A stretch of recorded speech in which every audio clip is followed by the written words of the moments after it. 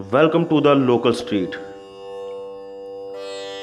Kafirkot Pakistan के ज़िला डेरा इसमाइल ख़ान में मौजूद एक कदीम मुकाम है, जिसको सकाफती वरसे का दर्जा दिया गया है। दरिया सिंध का बेशतर हिस्सा पहाड़ों के दामन में है। इन पहाड़ियों की चोटियों पर दरिया सिंध के किनारे कदीम किले, इबादतगाहें और तबाहशुदा बस्तियों के आसार मिलते हैं।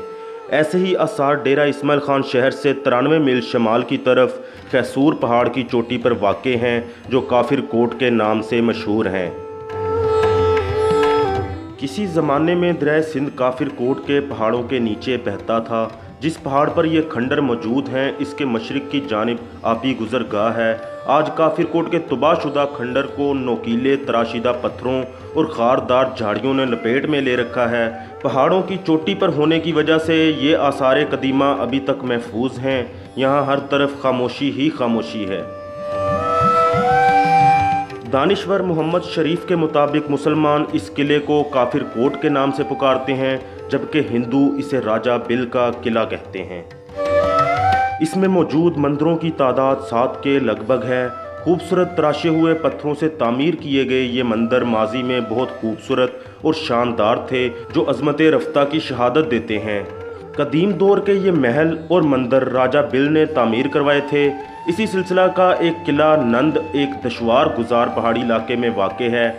सुल्तान महमूद गजनवी ने अपने दसवें हमला में राजा नंदपाल को शिकस्त दी थी।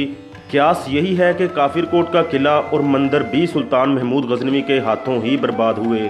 काफिर कोट के किला के अंदर पानी का एक तालाब भी था। बारिश का पानी इस तालाब में इकट्ठा हो जाता था।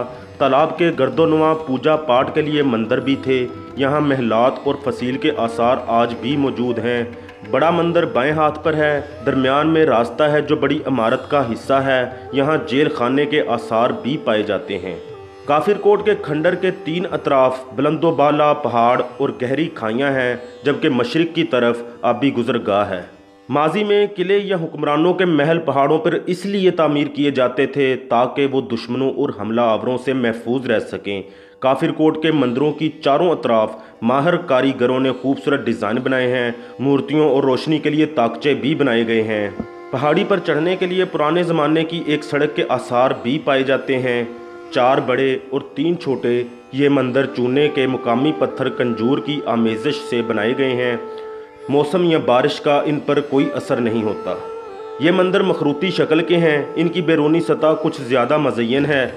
ये आरइश बहुत पेचीदा और बारीक है, जिस पर सूरजमुखी के फूल बने हुए हैं। ये तमाम मंदिर तबाहशुदा किले के अंदर हैं। ये किला दफाई लिहाज से महफूज मुकाम पर बनाया गया था। काफिर कोट शहर के इर्द गिर्द पत्थर की मज़बूत फसील थी, जिसमें हिफाजती मोर्चे बनाए गए थे। कहा जाता है कि यहाँ हिंदू राजा बिल की हुकूमत थी, जिसका पाया तख्त बलोट था। इसे बिल कोट या बलोट कहा जाता है।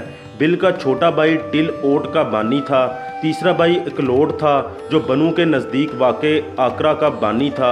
आकरा का शहर सरसब्जो शादाब और खुशहाल था। ये शहर भी सुल्तान महमूद गजनवी के हाथों ही तबाह हुआ था।